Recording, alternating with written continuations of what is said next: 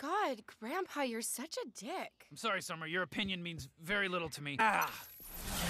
You know, for a second there, I thought Night Summer was gonna win. That chick is the absolute worst. Sorry, Rick, but your opinion means very little to me.